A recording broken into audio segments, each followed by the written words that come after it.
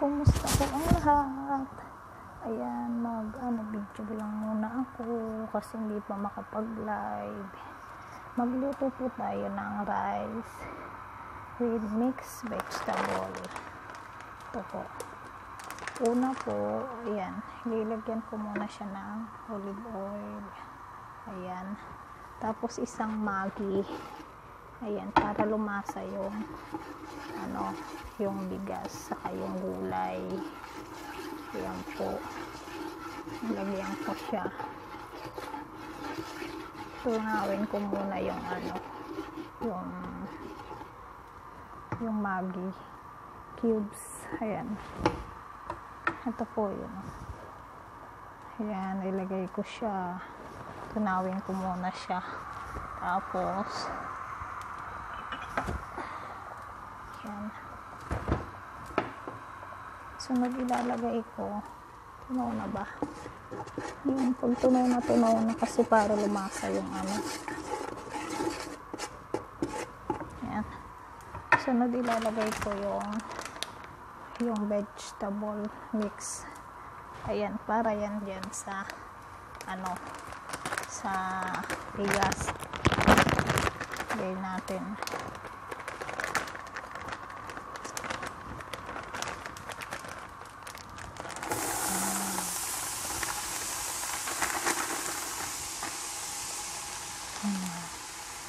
Malasa kasi siya sa bigas.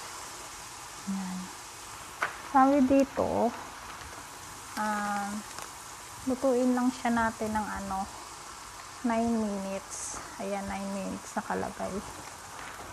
Ayan.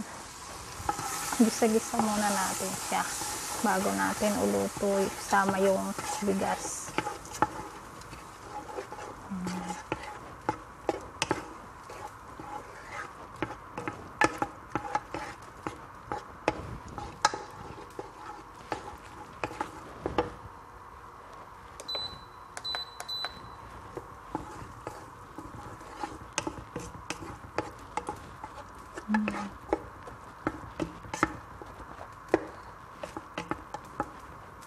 Maliliit lang naman yung ano na to kaya ano pwede na natin ilagay agad yung bigas. Tapos lulutuin natin siya sa 15 minutes.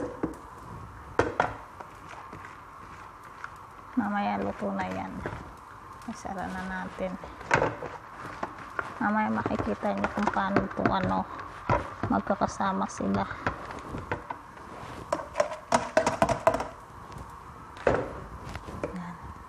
Tapos, haluin natin. Ganyan na. Yan. Diba? Mm. Mukhang masarap siya, no? Tapos, lalagyan natin ng dalawang takal na ano, lagyan natin ng dalawang takal na tubig, dalawang basong tubig na mainit. Ayan.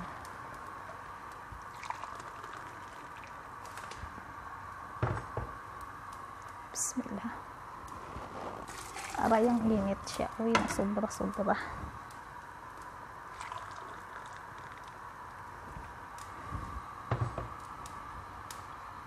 Bismillah. Ayan. Tapos mamaya pagluto na siya, makita na natin yan.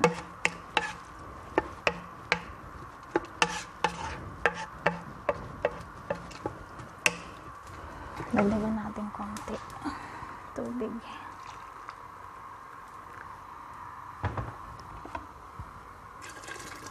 Ayan. May magi cubes naman to kaya malasa to kahit di na siya lagyan ng asin. Panimpla na yon. Ayan. Ayan.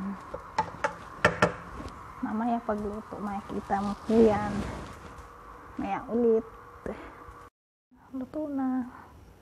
Ayan yung tsura niya. Ayan. Halo-halo ko yung gulay.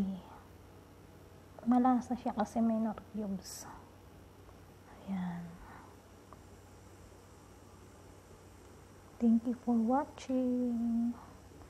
Please like and subscribe my YouTube channel. Thank you po.